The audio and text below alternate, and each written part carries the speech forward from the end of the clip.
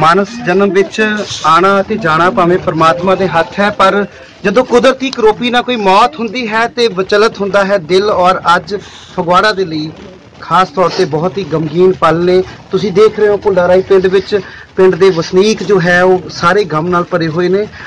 ਇਸ ਪਿੰਡ ਦੀ ਨੌ ਰਜਨੀ ਜੋ ਕਿ ਅੰਮ੍ਰਿਤਸਰ ਦੇ ਵਿੱਚ ਜੋ ਟ੍ਰੇਨ ਹਾਦਸਾ ਹੋਇਆ, ਉਸ ਵਿੱਚ ਸਾਡੇ ਤੋਂ ਸਦਾ ਲਈ ਵਿਛੜ ਗਈ ਔਰ ਅੱਜ ਪ੍ਰਸ਼ਾਸਨ ਜੋ ਹੈ, ਪ੍ਰਸ਼ਾਸਨ ਕਾਲਜੀ ਐਸਟੀਐਮ ਡਾਕਟਰ ਮੁੱਧ ਅੱਜ ਪਰਿਵਾਰ ਦੇ ਨਾਲ ਜਿੱਥੇ ਉਹਨਾਂ ਨੇ ਹਮਦਰਦੀ ਪ੍ਰਗਟ ਕੀਤੀ, ਉੱਥੇ ਨਾਲ ਹੀ ਪੰਜਾਬ ਸਰਕਾਰ ਵੱਲੋਂ ਜੋ ਮੁਆਵਜ਼ਾ ਦਿੱਤਾ ਗਿਆ ਹੈ, ਅੱਜ ਉਹਨਾਂ ਦੇ ਦੋ ਚੈੱਕ ਉਹਨਾਂ ਨੂੰ ਭੇਂਟ ਕੀਤੇ।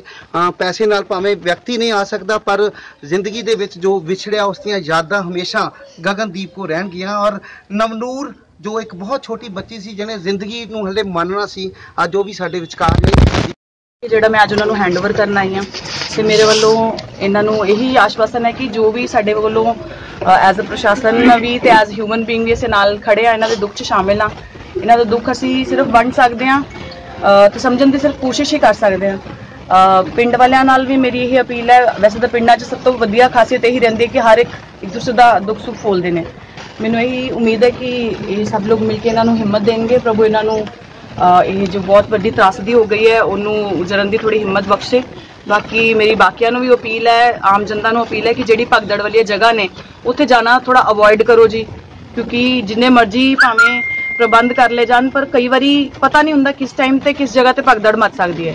ਤੇ ਮੇਰੀ ਇਹੀ ਅਪੀਲ ਹੈ ਕਿ ਭਗਦੜ ਵਾਲੀ ਜਗ੍ਹਾ ਤੇ ਜਾਣ ਤੋਂ ਥੋੜਾ ਜਿਹਾ ਗੁਰੇਜ਼ ਕਰੋ ਤੇ ਬਾਕੀ ਪ੍ਰਸ਼ਾਸਨ ਤਾਂ ਤੁਹਾਡੇ ਨਾਲ ਹੈ ਜੀ। ਆ ਸ਼ਾਇਦ ਇੱਕ ਦਿਨ ਦੋ ਦਿਨ ਇਹਨਾਂ ਦਾ ਦੁੱਖ ਵੰਡ ਸਕਦੇ ਆ ਪਰ ਜਿਹੜਾ ਸਾਰੀ ਉਮਰ ਦਾ ਦੁੱਖ ਹੈ ਇਹ ਇਹਨਾਂ ਨੂੰ ਹੀ ਛੋਟੀ ਬੱਚੀ ਇਹਦੀ ਮਾਂ ਚਲੀ ਗਈ ਹੈ।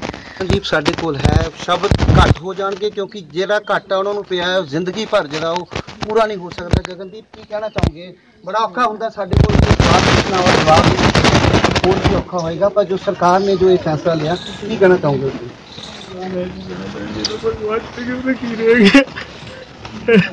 ਤੁਸੀਂ ਦੇਖ ਰਹੇ ਹੋ ਬੜੇ ਭਾਵਨਾਤਮਕ ਜੋ ਮਾਹੌਲ ਹੈ ਇੱਥੇ। ਕਾਂਗਰਸ ਦੇ ਸੀਨੀਅਰ ਲੀਡਰ ਇੱਥੇ ਨੇ, ਦਲਜੀਤ ਰਾਜੂ ਜੀ ਸੁਖਬੀਰ ਸਾਬੀ ਜੀ। ਅਸੀਂ ਪ੍ਰਮਾਤਮਾ ਕੋ ਦੁਆ ਕਰਦੇ ਹਾਂ ਕਿ ਜੋ ਵਿਛੜੀ ਆਤਮਾ ਹੈ ਉਹਦੀ ਸ਼ਾਂਤੀ ਲਈ ਅਸੀਂ ਦੁਆ ਕਰਦੇ ਹਾਂ। ਗਗਨਦੀਪ ਨੂੰ ਜੋ ਹੌਸਲਾ ਪ੍ਰਮਾਤਮਾ ਦੇਵੇ ਔਰ ਜੋ ਬੱਚੀ ਇੱਕ ਪਿਛਲੇ ਪਾਸੇ ਹੈ ਉਹਨਾਂ ਦੇ ਰਹਿ ਗਈ ਉਹਨਾਂ ਦੀ ਨੂੰ ਹੌਸਲਾ ਦੇਵੇ ਔਰ ਪਰਿਵਾਰ ਨੂੰ ਹੌਸਲਾ ਦੇਵੇ ਇਹੀ ਸਾਡੀ ਦੁਆ ਹੈ ਔਰ ਖਾਸ ਤੌਰ ਤੇ ਫਗਵਾੜਾ ਵਾਸੀਆਂ ਦੀ ਸਾਰੀ ਇਹੀ ਦੁਆ ਹੈ ਕਿ ਅੱਜ ਰਜਨੀ ਤੇ ਨਵਨੂਰ ਸਾਡੇ ਵਿਚਕਾਰ ਨਹੀਂ ਪਰ ਉਹਨਾਂ ਦੀਆਂ ਯਾਦਾਂ ਭੁੱਲਾਰਾਈ ਦੇ ਵਿੱਚ ਹਮੇਸ਼ਾ ਯਾਦ ਆਉਂਦਾ ਰਹੇਗਾ ਇਸ ਪਰਿਵਾਰ ਨੂੰ ਵੀ